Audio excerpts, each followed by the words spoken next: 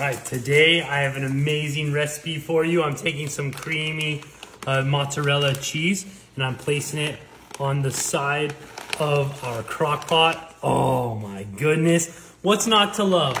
Pizza sauce with some mozzarella cheese. Make sure that's spread perfectly. Now that we have that there, I'm taking some mini pepperonis. These things are amazing. Look how cute they are. You see that? Now I'm just gonna bring that right here on the side. Today we have an awesome little game day appetizer for you, and this is really going to just kick off kick off your game day perfect. I like using the mini ones here, and you'll understand why here in just a second. Oh, that is phenomenal. Now I'm coming instantly in with some Parmesan cheese. I have the mozzarella down there, and I'm just pretty much gonna, I think I'm just gonna put this right on top of that mozzarella. Let's just put on top of mozzarella. So I have two full cups of mozzarella and then one cup of Parmesan. And oh, look, this is aroma is outrageous. Now I'm coming in with some Philadelphia cream cheese and I'm just gonna take this block and place it right on top. I think right here is going to be absolutely perfect. We want kind of all the cheeses to blend together. And right before we get this going, I'm gonna do some Italian seasoning. And the Italian seasoning you kind of want to put throughout the whole entire dish. You, it does have some in the sauce, so feel free to kind of, you could be heavy-handed here because there is a lot of cheese, there is going to be a lot of flavor here, but the main thing is that Italian is going to be your main herb in this dish. Oh my goodness. I'm actually getting severely excited looking at this, and can you read that? Onion. Onion powder and I'm gonna take some onion powder. It's just gonna add some great flavor to it. And be heavy-handed here, all right? There's a lot of ingredients in here, and we need seasoning to back all those flavors up and just elevate that experience. Now I'm taking some garlic powder. If you're not using garlic powder in pretty much every recipe, you're probably doing it wrong. And I'm gonna put, I'm gonna be heavy-handed here too. Oh my goodness. Oh my goodness. Look at how amazing that looks. It literally took five minutes. And this is ready. Put my lid here. I'm gonna put this on high and this is going to cook for about one hour. All right, so this has been on high for two hours. I'm just gonna turn this on warm and ready for this. Oh, ho, ho, ho. that looks amazing. You see the pepperonis right here? But I'm gonna come right in and start stirring it. It smells like heaven. Oh my gosh, look at that mozzarella. Ooh, you definitely want to mix in all of that pizza sauce with the pepperoni. You see the mozzarella cheese right there. Oh my goodness, people are going to go crazy for this. Make sure you get all the pepperoni incorporated within that mozzarella because that's what's actually going to um, make this exactly what we need. Oh my goodness. How does that look, babe? A little bit more mixing. You're a little bit there. more mixing, right? Yeah, Yeah. I agree, I agree. Well, You it wanna be able smells to just get in good. there. though. Yeah, look at this. Wow. So with Domino's. It does, it totally does. All right, I think you're good. Let's try it. Let's try it. That looks good. Now, I have some garlic knots. They're kind of like the ones that you just pre-bake. And I'm just gonna go right into this. Oh, wow. I know you're excited. I'm just as excited as you, honey. You ready for this? Go on in. It's gonna be super hot. You're super hot. Thanks.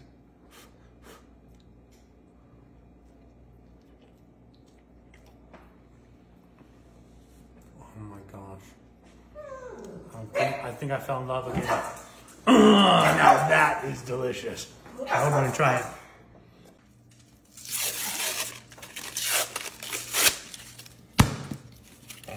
Right, so I'm taking a whole entire package of these Grand's buttermilk biscuits, take them out of the package, and what I'm going to do is I'm going to take one of these, split them in half, okay? Grab some scissors or kitchen shears and cut them into fourths. This recipe is going to be so easy and so fast, and make sure we do that to each biscuit. Peel them in half, put them on top of each other, cut them into fourths. I'm gonna make this fast for you, but you guys take your time. I made those a little smaller than usual, but look at all that. So I used two packages, okay? Now I'm coming in with some pepperoni. You guessed it. we're starting to kind of configure what we want here. So I'm, you could take the whole pepperonis here, but but I am going to take, I'm gonna take a stack and I'm gonna cut them right in half, right down the middle. Do not cut open your your hand. That probably isn't good. Uh, essentially, what you want to do is you want to make these bite-sized. That way, they go right on top of that wonderful biscuit mixture. Look at that. Do you think that's enough pepperoni, babe, or should we add a little bit more? Um, I think a little bit more. All right, and now that we have all the pepperoni right there, I'm gonna take some cheese. I'm using pizza cheese. You can use whatever cheese you want. And I'm gonna put this right on top. I'm only gonna use half of the bag right now because once we toss it with everything, uh, we're gonna add some more cheese. Whole stick of butter, I'm gonna place it right here because what we're going to add to the butter is some Spice World garlic. Spice World, they just know what they're doing. And I'm gonna punch a, a little bit of that in there. And then what goes well with butter and garlic? Italian seasoning, you guessed it. So I'm gonna add some Italian seasoning into that butter. Make it like an herb, a garlic herb butter. Look at that. The garlic smells so good. Doesn't it? Now I'm just gonna mix this one up, get all that garlic, all the herbs. Look at that. That looks phenomenal. Look at how amazing that butter looks. Yum. Mm. And I'm just gonna put some butter. I'm gonna use half this butter as well, okay? Perfect. Used half of it. We're gonna save half just for a little bit later. Now here comes the fun part. Are you ready? Yeah. So you go in here and you kind of want to toss everything together. You don't want the dough to stick too much, so feel free to get in there. Right, you kind of want to blend everything together. Look at how this is coming. This is coming. It's okay. Feel free to peel these apart because it is going to be kind of like a pull apart bread, as you probably have guessed already. So feel free to pull it apart because that's what people are going to do. And this is about the time where we add a little bit more cheese because uh, you want to always gauge your cheese levels. I'm going to use the whole entire bag here because I love cheese. My whole family loves cheese. If you're not, you know, you got to get you got to get your hands dirty in the kitchen sometimes. If you're not making a mess in the kitchen, you ain't doing it right. you ain't doing it right. You already know that. And I think we're lacking a little bit of pepperoni in here. So I'm gonna add some pepperoni. Now here comes the fun part. Set that to the side. Bring in a greased Bundt pan. And what we're gonna do is we're gonna take, take this pull apart bread and place it all across. Make sure you grease your Bundt pan or else you're not gonna have a good time. And nor are people that are actually gonna grab into this. Don't worry, make sure your hands are nice and clean, like mine. And we're just gonna place it right you know, right on top. You want you want no you want no uh, dry spots. You also want no empty spots. Look at that. Anything left over, put it right on top. This dough will expand, so make sure that you leave enough room. I'm gonna push this down a little bit, and now we come back in with that garlic herb butter. This is where we're gonna want all the garlic to come out. You see here comes all of that garlic with the butter, you want it to come out right on top. Look at that. Okay, we're just about done here. I have my final ingredient. I'm gonna take some Parmesan cheese. The, we did use pizza cheese, and now we're gonna use this grated Parmesan. And I'm just gonna put it right on top to add that nice coat of flavor, cover, cover up that garlic. Mmm, this smells phenomenal. I have my oven set to 350. I'm gonna put it in there for probably about like 40 minutes till it's nice and crispy.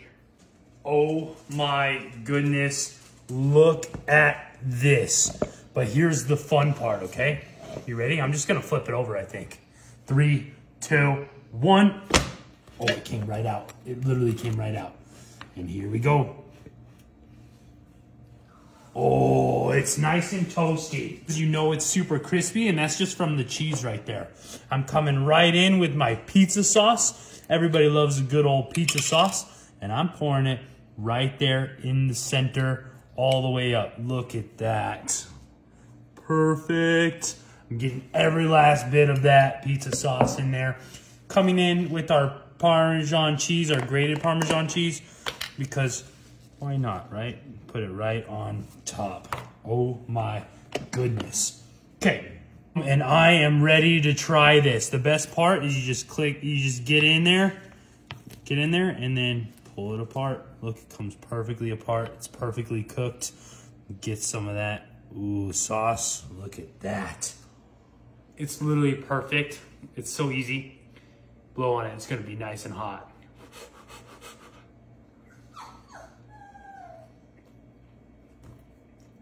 Oh my gosh. It's so buttery. so buttery. So delicious. Oh my gosh, I hope you enjoy it. This is phenomenal. So good.